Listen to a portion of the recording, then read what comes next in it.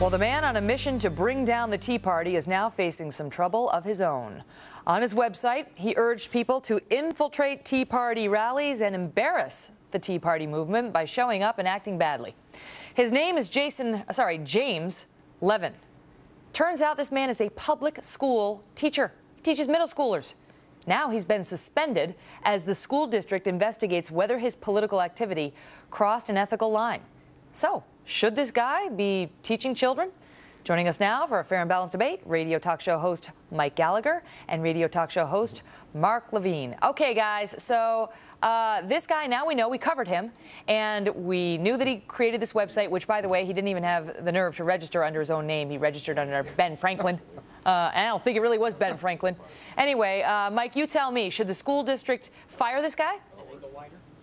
I'm not even sure there's even a, a, reason to ask the question, Megyn. Of course he should be fired. If this doesn't violate a, a, code of ethics that I would hope even public school systems in Oregon have, I don't know what does. I mean, it's sleazy. It's uh, it's offensive to millions of Americans. I was at a Tea Party rally last night here in North Texas, Megyn. Thousands and th- about 10 or 15,000 men, women, children, grandparents, their grandkids uh, having cookouts and playing patriotic music. I mean, it's a great effort effort to be a part of this thing to see and to have a guy like this, this creep, come along and try to pretend to be, eh, dress up as Adolf Hitler and try to dis- discredit this side of the of the movement. It's despicable, and it's the reason so many families homeschool their kids. They don't want no, well, creeps like nonetheless, this though, Mark, indoctrinating we, their children. Doesn't this guy? Don't teachers have First Amendment rights to say what they want to say on blogs?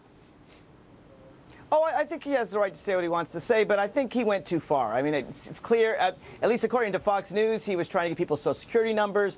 Look, I mean, there's a point where free speech goes too far. One of the things that when we're in uh, protests, for example, we would see Code Pink come along and we'd say, you know what, we want to disassociate ourselves from you. If the Tea Party people would disassociate themselves from the people with the Hitler mustaches, from the people that claim that Barack Obama was born in the United States, from the crazy lunatics that shout racial and homophobic epithets, then they wouldn't have this problem problem. And so I would hope that if any crazy guy like Jason Mark. Levin comes along, that the Tea Party will, will disassociate themselves from him and from anyone else doing this crazy Go stuff. Go ahead, Mike.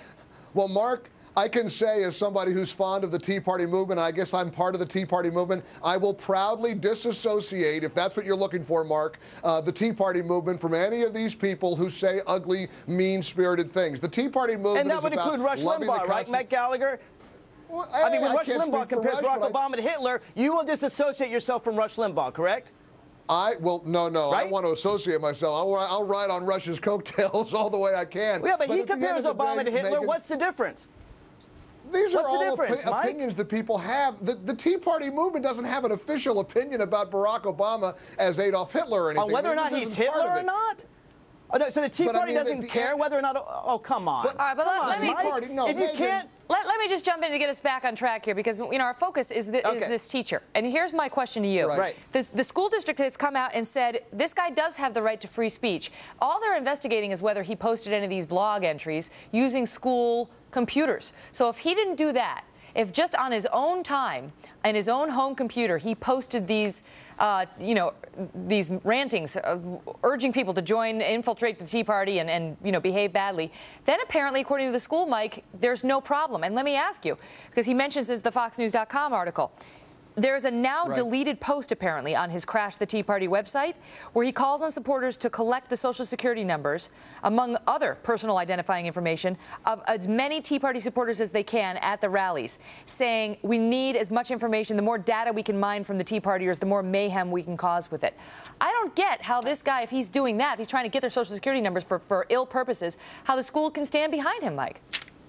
They, they can't. And, you know, this is the problem with the First Amendment argument. People like to say, what about the First Amendment right to, to post blogs or to create mayhem over an ideological issue they don't understand? The school district has a right, too, to say, we don't want a guy like this teaching our kids. The First Amendment right doesn't trump everything else. And employers have a right to say, this guy is engaged in unethical, maybe illegal behavior. I'm glad they're investigating. Good for them. And they ought to kick his fanny out of the teaching Mark, do you think that's forever. right? I mean, if it's separate and apart from the issue the school's looking at about whether he uses school computers, if he if he's posting that kind of stuff on his blog, even if he's using his home computer, should he be teaching middle schoolers?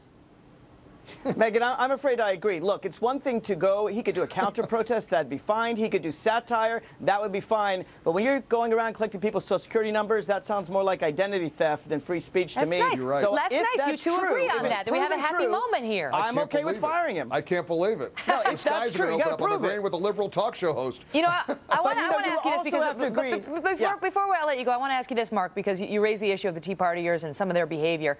Uh, the, you know, this is a point I've raised with some other folks on this show in, in connection with this story. If the Tea Partiers really are so bad and they, and they engage in all this bad behavior, why, why would this guy need to infiltrate them to act badly? Why not just leave them to their own devices and let them sink their own ship?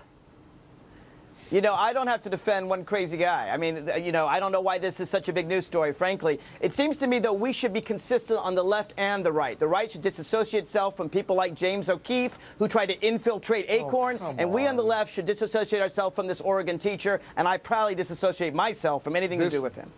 All this right. this Tea Party movement is a freight train that the left can't stop, and we're going to march. We're going to drive it all the way through November the second. It's a beautiful thing to watch. All right, it's a guys. beautiful thing. I'd This like to- democracy in action. They could, they could keep going. I mean, maybe I'll let them, and then I'll post it on our, on our webpage. In any event, Mark and Mike, thanks so much for being here. Okay, guys, Thanks take for care. having us.